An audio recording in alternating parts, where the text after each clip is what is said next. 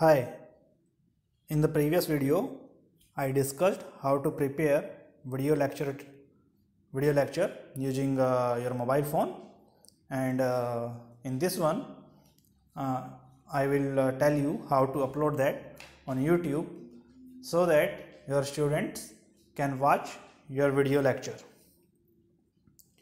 For that you need to go to YouTube and uh, there you will see at the top there is a video button. You just click on that. As soon as you click on that you will find your videos lying there in the screen and you select the video you want to upload. So i'm just selecting this one. As soon as you select that one you get a nice video uh, line there and uh, you probably can add it. Above you will see that there is a wind uh, type of uh, icon that can give some effects to your video. You can give title to your video.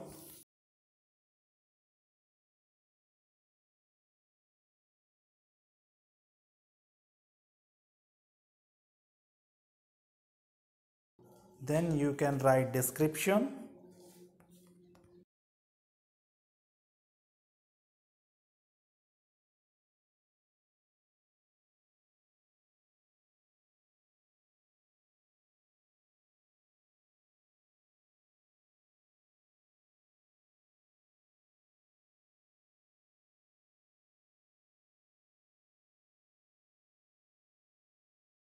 up to you.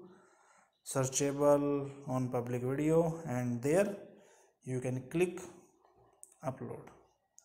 Once you click upload your video is uh, being uploaded. It is 100% so 0% on about 2 minutes remaining. So first it process your video. So it was processed now it is uploading and uh, let me tell you in the previous video the quality was uh, with the quality we made uh, full HD uh, in that one the size of the video came out to be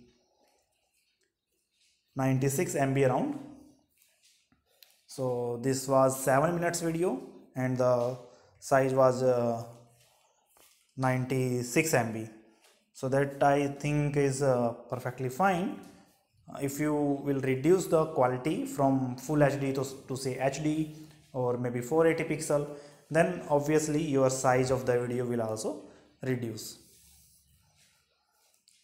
And uh, once the uploading is finished you will see that uh, this is a decent video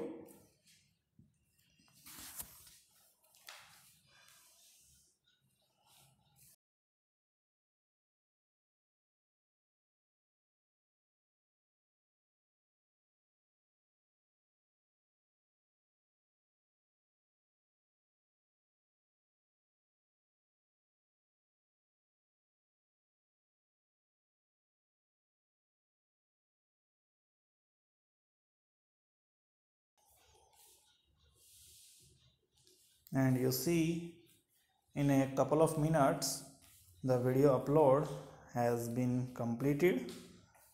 And this is 99% uploaded. I think it is finishing. It is again processing the video. So it won't take much time to process the video. It is already available on YouTube platform so they are processing on their server.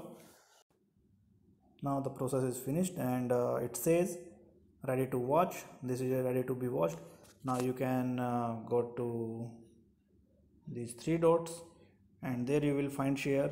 From there you can share your video with your students and uh, that's it. You have prepared a video lecture and uh, shared with your students. I hope uh, you have enjoyed the video. If you have any query or comment you may let me know in the comment section.